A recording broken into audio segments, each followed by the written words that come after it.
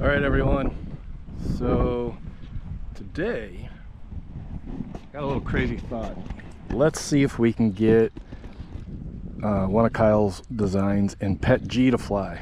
So I have the Fat Amy F35C um, in, was it Kingroon brand uh, PETG.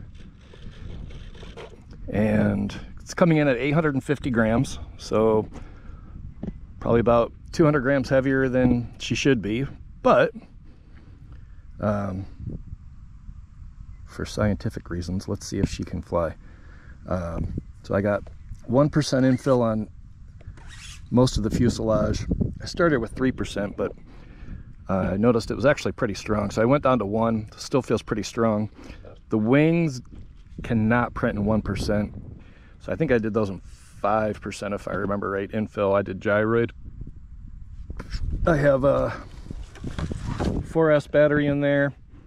Got a gyro on board for launching. Um, 1600 Hildo uh, 4S battery. I think I got the QX motor in there. There's the motor, the fan, so yeah, let's uh, see if she flies or crashes. I honestly have no idea.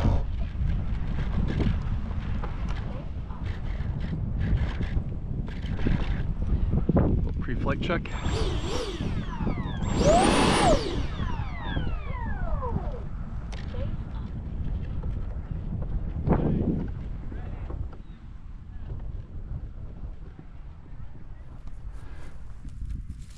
All right, and then the wind.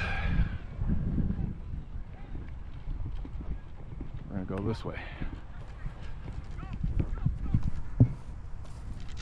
All right, gyro's on. We're launching. Let's see if she flies.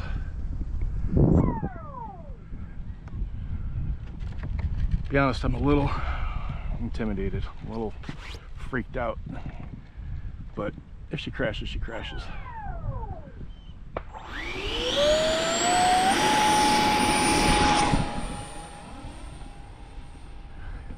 Yeah! she crashes or she flies. All right, so she's on gyro right now. Let's see.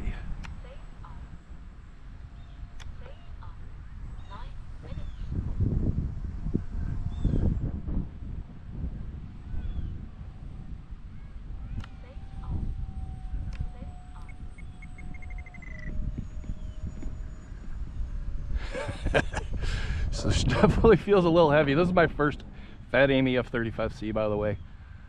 Um, but I've flown so many of Kyle's designs. Pretty used to how they feel at this point.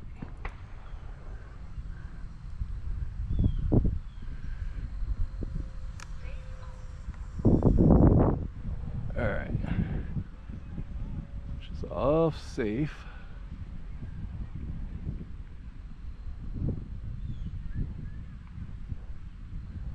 So I wanted PETG because PETG is inexpensive, uh, fairly accessible, easy to print.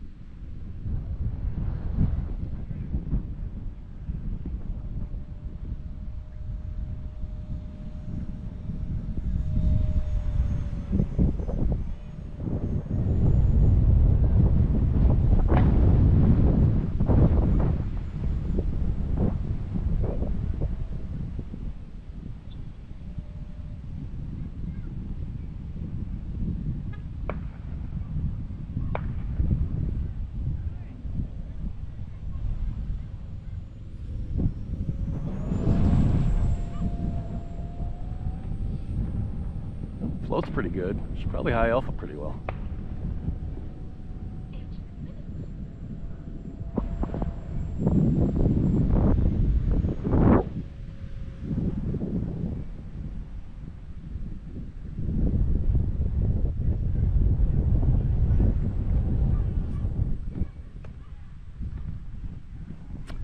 Yeah, too windy.